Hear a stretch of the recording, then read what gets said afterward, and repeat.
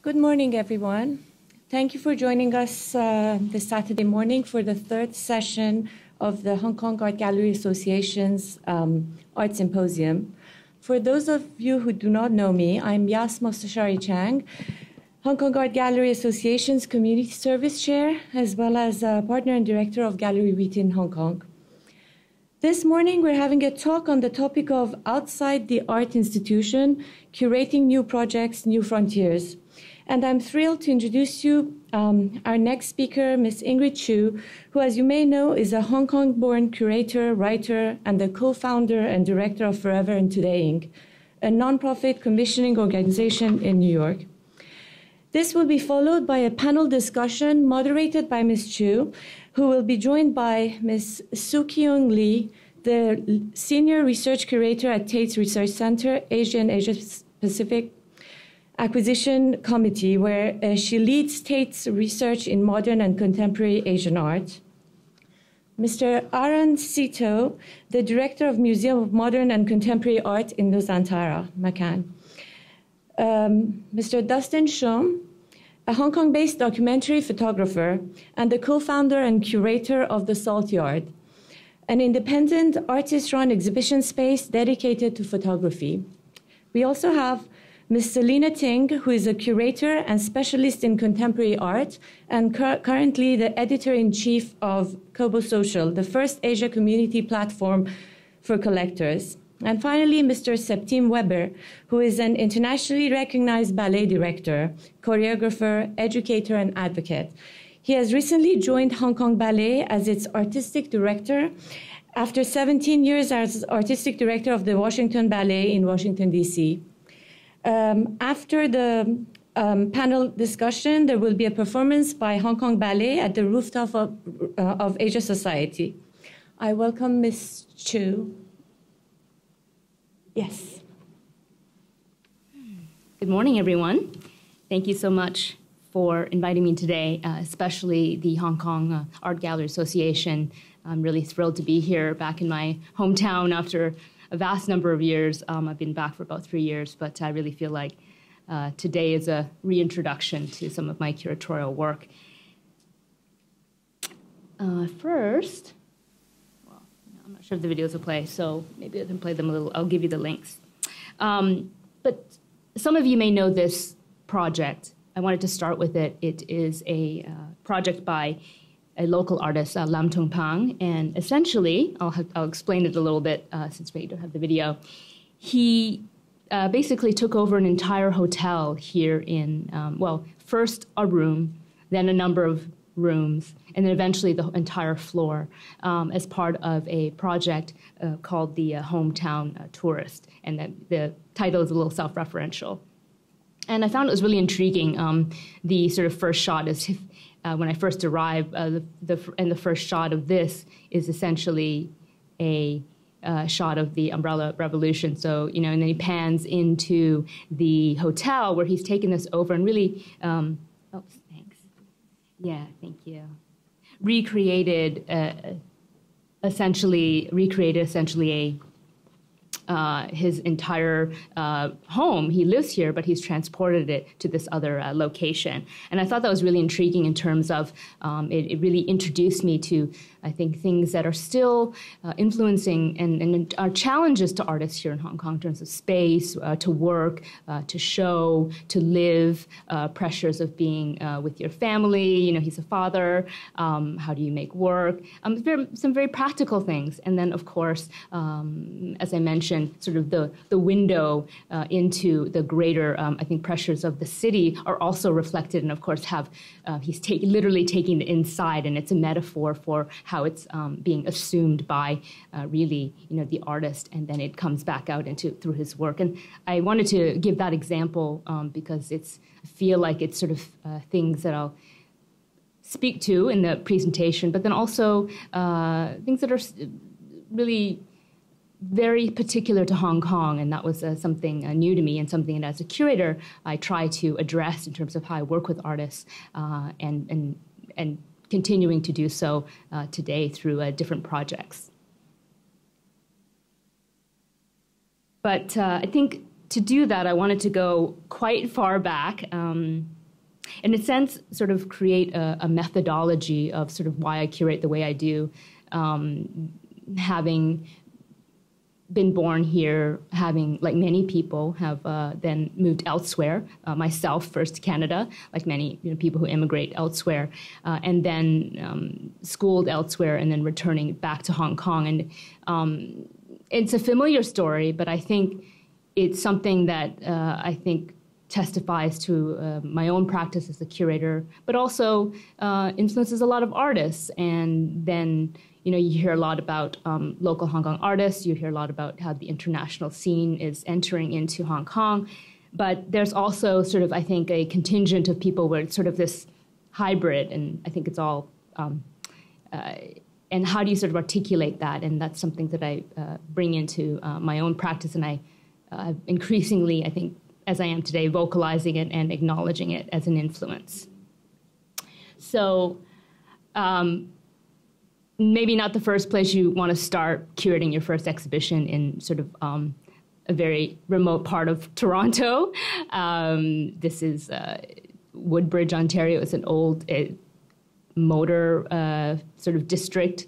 A lot of sort of gas stations and such, but I had a wonderful opportunity to do my literally my first curated project when I didn't even know what curating was um, in a place called Motor Oil. Um, and I'll share some of the images first. So this was, uh, as you can see in the outside, it's a little uh, masks the inside, which was really kind of the first of its kind. This is actually in the late 90s. Um, and essentially, this is a moment uh, where Toronto was becoming what was called a megacity. So it was sort of growing and changing, and I thought that was a kind of a similar to you know like many urban cities, but in particular what's happening with uh, Hong Kong right now. And uh, I have a ongoing interest in artists who deal with you know sight, who deal with um, in particular kind of like um, I guess particularly urban environments because I you know that's where I, I often work, not always, but uh, and so this sort of uh, was the seed that continues today, where um, it was a series of commissions where I enabled um, artists to um, create new work to, in a sense, answer or react to the changes that were going on around them. And that um, became many things. You, you probably can't, and very sort of mixed in, so I'll just point them out. Uh, on the wall is a piece by Carlo Cesta, an Italian um, Canadian artist who um, takes basically um, the wire, the wire intricate sort of uh, fencing of his neighborhoods and creates these kind of like sculptures out of them there's like it's like an 18 foot sign uh, by Peter Boyer, who's sort of like this empty marketing sort of insignia. And then the floor piece uh, was actually a um, piece by Eric Glavin, who's a painter, but sort of wanted to take those formats and then kind of uh, bridge them into this site specific piece, which is in essence transposing uh, mall uh, maps or architecture into uh, this sort of uh, other kind of space that was now uh, coming in. And um, as you'll see later, uh, even the documentation I tend to do uh, creates uh, is in tune with the location. So this is a I did a CD soundtrack and commissioned a sound artist to create um, a audio track that relates to the the work. There was a second site also in the main city to do sort of these um, um, also programs. Uh, this is one of the pieces by uh, Toronto artist Karma Clark Davis. It was a film as a sort of homage to uh, being in, not being in Kansas, uh, sort of the idea of the um, um, alien in another space. So this was actually in the change room. So if you went into the change rooms, you would see this video. So sort of like coming upon art and seeing it in the everyday environment. Um, this is a project I did in in 2003. And in essence, I'm giving you different examples of um, what you might call alternative sites, uh, but what those might be uh, will I'll share many different types of examples and how artists have been uh, I've encouraged artists to uh, create new work or they already work in this way, so I'm creating a context for them. Uh, this was a project called Subscribe, recent art in print, looking at artists who use uh, the print media as an alternative space for their work. Um, oftentimes, this happens because there's uh, artists, uh, critics who want to sort of author their own history, uh, artists who are interested in popular culture, who uh, want to uh, sort of use this location, or um, the idea of published materials having um, an everyday circulation and really reaching um, everyone and uh, many, many, many people. And it's for its access. So this is a, a, subscription card by Dave Muller, American artist, and it was in Time Out the week. And if you received that magazine, you got a free uh, piece of art. This is another um, advertisement by um, a Canadian artist, Ron Terada from Vancouver. So what he did was in every place where there was a uh, project, he put an advertisement in the advertising section, and he's very known for doing that. He um, uh, uses text in uh, various ways, um, in various conceptual ways, and you'll see that in a different. Um, it has a long history of that, uh, whether that's advertising, signage, posters, and such. So the idea of the magazine is a perfect location for him. This was um, in 2004, uh, a sort of self-initiated project called Red Eye Projects and it is this was a web project called um, the One Liner. So this is by Dutch artist Mark Beil.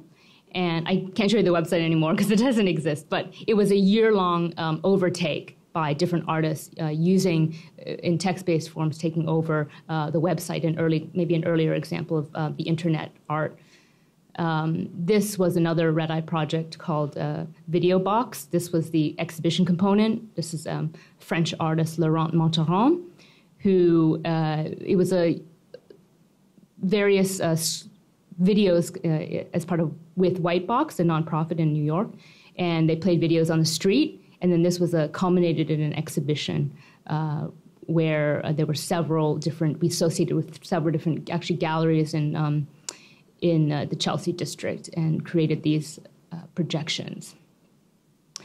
And this is, um, as an in- introduction, sort of where I am now, um, or the little bit of a history of where I am now. This uh, is Forever and Today Inc., which is I'm the co-founder, co-director, and uh, co-curator, along with uh, Savannah Gorton, who is uh, also the curator of Friends with Books, an art book fair in Berlin. And together, when we were in New York, we um, created Forever and Today Inc., which um, the mandate is we're a nonprofit commissioning organization, and we um, commission new work by a single artist, a collective, or a collaborative entity. And what that means is that we work one on one with an artist. They may choose to work with other people. We work one on one. There are no group shows. And we really, what I like to say, don't put spa- art in a space, you put space around the work and create the platforms that um, um, allow artists to sort of do the projects they wish. Um, this was our storefront in Chinatown in 2008. We had it for about four years in Lower East Side Chinatown, on right by Canal Street, Ludlow, and yeah, really at the heart. And it, as you can tell by the, it looks pretty modest. It was modest. It was literally 100 square feet but fully renovated as you might a gallery. So, um, and it provided really wonderful context to do many projects. Uh, this is the nighttime shot of uh, Marko Lulic, Viennese artist who did this, uh, yeah, tapestry. Uh, this is a piece by Kevin Zucker and Heather Rowe, um, two artists who wanted to work together. This afforded them that possibility. And it was a response to a shuttered theater across the street that was being turned into a um, performing arts center and they sort of really reimagined what it would be like inside. So it's just like very intricate construction, but really it was about light, cinema, and the idea of this kind of experience still of that, that kind of engagement, and literally reflecting that across the street with their own project. And as you can tell, we had many people come in. It was free and open to the public, free access. You know, we um, constructed it with local materials. We, you know, engaged all local businesses. So that was very important to us as a um, nonprofit, you know, in this era of thinking. Through, I mean, even many I won't get into them deep, but there's lots of contentious issues around gentrification, as there always is. But what we wanted to do with our organization, which is why it was so small, why we use local materials, which is why we you know engaged uh, local organizations to do educational programs, um, is that we really wanted to not just theorize on the ideas of it or you know wait for protests, but really um, try and answer the question: How do you create a cultural space that would be um, meet the artist's demands in terms of what they're trying to do, but also be um, cognizant of what we know sometimes cultural um, spaces or any kinds of spaces um, uh, due to uh, neighborhoods. Um, I thought this was a nice project to speak of, given um, I think yesterday's presentation. Um, this was uh, a project we did with a Chinese artist, O Zhang. And um, I, if you want, I can give you the titles, and I haven't been giving the titles, but some of them are quite long. Um, but this is called A Splendid Future for the Past, and a lot of artists um, engaged in the neighborhood about what kinds of spaces were there. And uh, there's a lots of sort of um, spaces for prayer and uh, her project revolved around um, honoring people that had died unnaturally in the Chinatowns of New York. And um, through these small um, rabbits she was already fostering, uh, I will say we worked right from the get go with the um, House Rabbit Society of New York to sort of figure out the right um, conditions to house these uh, her her sort of pets. And uh, in line with the project as well, the idea that um, in in sort of honoring the spirits that at the end of the project the, the uh, rabbits would get adopted, and one did get adopted by a family in Connecticut. And if you want to visit the other one, the one, the other one, she actually lives with me, so she's just in Sai Kung. she's been with me for about eight years, and she it's a true testament about how art can change your life because she literally changed mine in so many ways. Um, anyhow, this was a project with uh, Alison Knowles, fantastic artist. She is a founding member of the Fluxus movement, and this was a collaboration with Performa, and we did a uh, live performance. And I bring this up because um, it was, uh, like I said, a very tiny room, but we ha- she did she.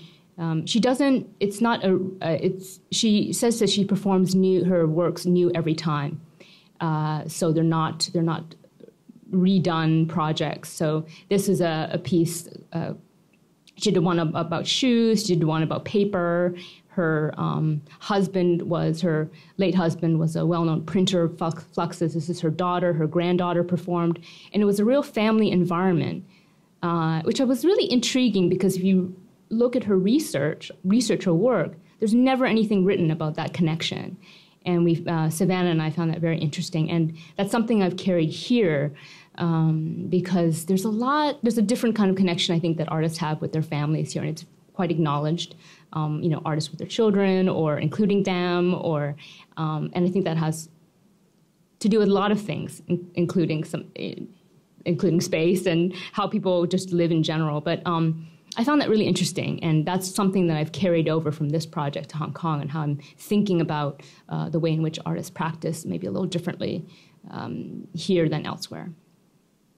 Um, this, I wish I could play this one, um, but maybe we can find a way to do that a little later. This is another sort of um, artist who's had stopped for a long time. This is uh, American artist Jack Early he was active in the more active in the um, late 80s. Um, you might know his uh, former duo partner, uh, Rob Pruitt. They used to be a duo called Pruitt Early. Um, and then they, he stopped making work for about a decade. Uh, so this was the first uh, piece, uh, one of the first pieces he did after 10 years, really just not making work at all. And it was a film that we commissioned from him. Um, it's like a music video, and it's um, even though it's film, it's and it's very sort of Frank Sinatra like. It's really a self portrait about uh, kind of um, redemption, about you know the pain that artists go through, and it's it it's and it's very actually also a very catchy song. Um, so I can share that uh, with with um, everyone a little later. This is by um, a Hong Kong, I think, I think it was born, now American artist, um, Christopher. Ho. Sometimes he, he comes back and forth. He was just in the Para Site exhibition. Uh, and it was a show called Privileged White People. So it was looking at sort of the uh, rise of uh, political um, um, consciousness in a certain era um, of American politics during the Clinton um, generation. Uh, and the little uh, diagram on the right was an addition. We also did um, additioned work.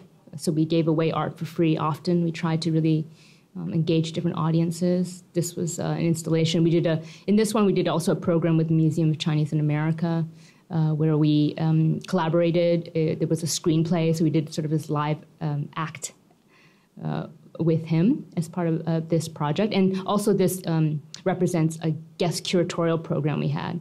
So out of this little tiny space, we had um, yeah exhibitions, uh, programs, performances, a guest curating pro- guest curator program, um, artist books as well. Um, this was a case where we invited one artist who invited another art uh, academic, and then it was a hundred contributors. So sometimes it grows. Uh, this is by um, artist, uh, Colombian-born American artist Carlos Motta, and it's called um, Petite Mort: Recollections of a Queer Public, where it is the um, remembrances, hand-drawn remembrances of um, encounters between men in New York City. So it's sort of like, uh, and it's all compiled, and uh, was a very popular book. So, and not just the drawings, there was also um, academics, people writing about sort of the, the, the, sort of the history of certain spaces and and um, and contextualizing what maybe seemed like um, only um, public encounters as they see it as forms of community building. So that's was sort of the way in which this uh, the artist and the his uh, collaborator wanted to um, contextualize this project. It the storefront was also a residency program, so we tried to take sort of the cycles of art, like the you know the lull in the summer, and we gave our space up to an artist to use as their studio. Uh, this is the uh, this is Liz Magic Laser who turned her space into um, a TV studio, and you can see her like literally working here, and the clocks represent the project she had ongoing at the time. Um, this was she was then we were then invited to do a, a performance at Swiss Institute um, through Gianni Jetzer at the time, and um, she essentially it was called the Living Newspaper and as you can uh, see, quite literally taking the headlines of the day and uh, through public um, engagement and public performance, uh, they sort of enacted uh, headlines of the day, which are still sadly headlines of today. Uh, this is you know several several years ago. Um, and uh, I, won't, yeah, I won't play the video here. Um, I can share any links you'd like to see. So uh, through this, she was also invited by CNN. This was uh, the moment of, I think, uh, Obama's second term um, election. And she did a, a video around uh, using the locations around uh, Forever and Today to um, do videos and interviews. And because, like many artists, you know, she'll take things and record things, and they may not turn out to be something she'll use now, but maybe later. So uh, we try to sort of enable that for artists as well, for them just to work and then to be able to um, do other things uh, with with the time that they've spent at, an, at a future date. Um, this was just as we were leaving our storefront, and in fact leaving New York. Uh, this is a this is the Westbeth Center for the Arts, and uh, I think some artists here might recognize it because I think there's this residency program um, in this building. Um, but uh, actually, um, some of our, our speakers today, Septime, you would appreciate this. Um, it's, it's the home of Martha Graham's studio. It was a long time um, um, headquarters for a lot of other sort of uh, performers. and so we took this over uh, through a we also collaborated with um, organizations that invited us. So this was a citywide project with the French consulate, and we invited a Parisian artist, Marc Geffriaud, who um, recently showed in Hong Kong as well. Uh, and so I can't show you the film, but it was this really beautiful take on how the building um, historically had been used for um, industrial purposes and um, a lot of uh, in um, film, uh, yeah, sort of elements in film. And so he wanted to take that history and create this um, film that, so the building really became the subject of the work. And then through this film, he should have shared um, the, again this idea of using the coin as a way to evoke you know this the the implied sense of what happens when you, you know, when you're in the cinema and the, the sort of magic of film. Um, this is Slavs and Tatars, and it was an installation we did. Uh, I've worked with them several times. Uh, this was the one we we did in New York called "Never Give Up the Fruit." Um, and it was looking at the um, region of uh, China. They do sort of a um, they do a research cycles, and so they were looking at this fable of the fragrant concubine who um, essentially never gave up the fruit. So they take these, you know, they really investigate, you know, these sometimes these very tough. Um, um, um, situations and uh, you know difficult subject matter as artists often do, but they translate it in accessible ways. So the idea of fruit became quite literal, and then we created this, commissioned this installation from them. This isn't our space. It was then showed, I guess, an example of how several of our uh, projects then went on to um, PS1 and other museums. Um, this was their like literally glass bulbs lights that are meant to evoke uh, the Hami melon, which you've probably have seen in your grocery store. um, and then the, uh, I think it's dissimulation, is the Chinese uh, wood um, characters. So now we're in Hong Kong. And how have I bridged some of these projects into uh, what I'm doing here and what I hope to do um, in the future? Um, as some of you may know, some of you may not, uh, for the last three years I was the uh, public programs curator at Asia Art Archive. And uh, through that, um, I did many things, but I'll share with you a few um, particular uh, programs um, that I initiated uh, this is the bridge with Slavs and Tatars. I invited them as residents, and this is a survey exhibition of their 10 years of publishing. Um, they're quite well known now for the sculptures that you see, but publishing is also important to them. Um, and of course, being in a library, it was the perfect place to share that. But it became a question, a curatorial conundrum about how do you then do a survey of publications. Uh, as you can tell, publishing is a very uh, ongoing interest for me um, as a medium. So we did this kind of like presentation of uh, their work and these are all of their materials from you know posters, ephemera, books, etc., um, that were shared in the library uh, for a number of months. Uh, a book sculpture. So when they're finished with their cycle of research, they spear their research materials and it becomes a sculpture. Um, this I thought was a, a, fun example to share in Hong Kong. Uh, this was a part of a larger program for the 15th anniversary of uh, Asia Art Archive, and I wanted to for the moment, for that small period of time, kind of take away, maybe pare down the words and the footnotes and the books and the bindings and kind of reach in and like um, see what's inside the pages of the archive and the artist and what, what does that art really look like. So we have, um, and what did I find? You know, I searched in the audio archives, I searched in other archives and uh, we also have tote bags. So I did a, this is called a short history of the art book bag and the things that go in them. So from paper uh, to collaborations, as we see now, you know, with artists and, um, and uh, I guess corporate brands we see all the time, but it was actually looking at it in a historical way. But really, what it was about was to uh, trace um, use this sort of popular form of the bag as a way to look at issues of globalism, look at the issues of ways in which, um, you know, before uh, the sort of influx of people have been more and more coming coming to Hong Kong, like you would usually just see it through the bags, the advertising, the symposiums, or the uh, biennials, triennials, etc. So it's sort of like looking at that history through this kind of innocuous, uh, a different kind of frame, and the frame happened to be the bag, and the things that go in them are, you know, whatever content you choose. So it was sort of a fun way to um, look at um, uh, look at that that history, um, and also uh, what I was seeing around me. So the you probably can't see it. The grid system is an homage to like the hawker stalls in Hong Kong. I was investigating the idea of exhibition histories in terms of um, ecology. Could the materials we use be returned, you know, into the environment? So it became sort of a, a, a sort of a curatorial endeavor on my part. So things that I'm beginning to think about as well, uh, hopefully in the future and projects that I do. Uh, this is Open Platform 2015, where we were able to um, commission an architect to create a platform for uh, discussions of the day, what was happening in Asia. Um, and this was, I guess, my last big project. Uh, just happened this past January.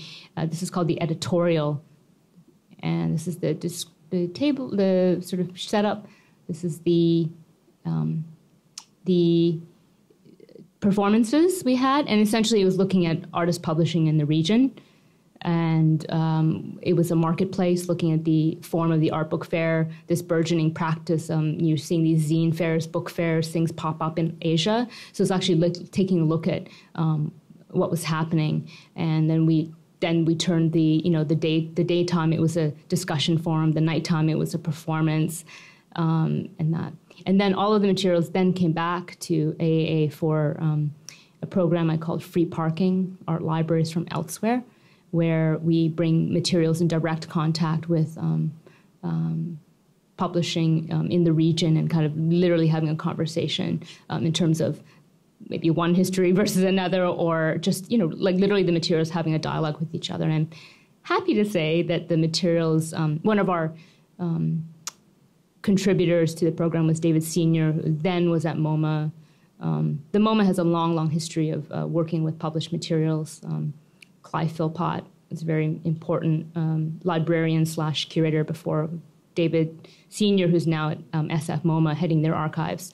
Uh, but through him, uh, he generously offered, and now the, all these materials are available in the Museum of Modern Art Library. So now more people will be able to access um, uh, uh artist uh, thinking, books, writing from the region. And um, again, I can't play the video, but I wanted to share a few examples of, that I found very intriguing of uh, public projects or projects that uh, in, in Hong Kong. One I'm sure you know very well, uh, Kingsley Ng's. Um, 20 minutes older, and where he turned this, you know, tram first uh, before our, the Art Basel uh, program. He did. Uh, I actually went to the initial uh, project, and he basically turned it into the uh, the sort of camera where you went in. So I just thought that was really, really fantastic in terms of um, the simplicity with which, I mean, I'm sure it's a much more complex project, but it ended up feeling very simple to really um, give everybody, anybody who wanted to come, um, a really kind of, I think, deep experience with um, reimagining their city.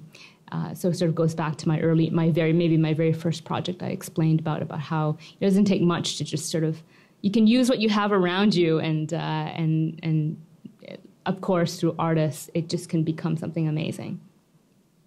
Um, this is a I sort of wanted to share. This represents many small spaces in Hong Kong. This is Holy Motors. Some of you may have seen. This is a project with Adrian Wong. Um, and sorry, I just want to want to make sure I, I uh, mention his collaborator. Let me see if I have it. Well.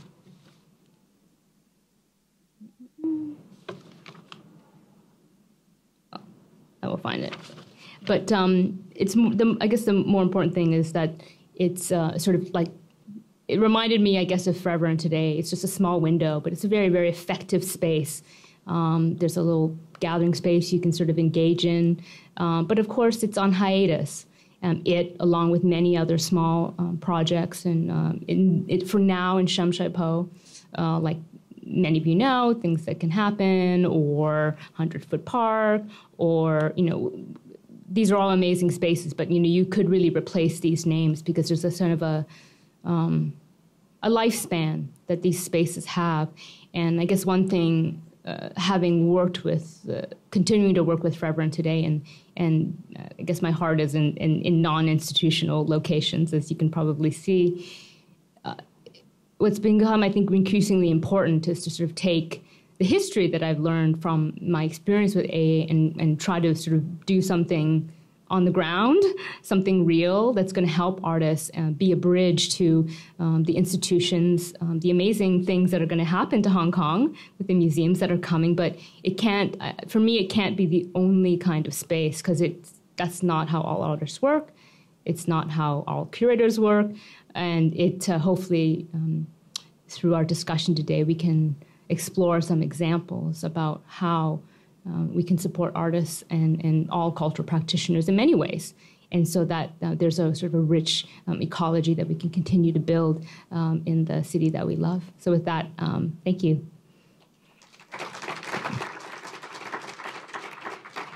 Oh, so I wanted to um, invite every of these uh, our panelists up, and since they've already been introduced, I won't introduce them again.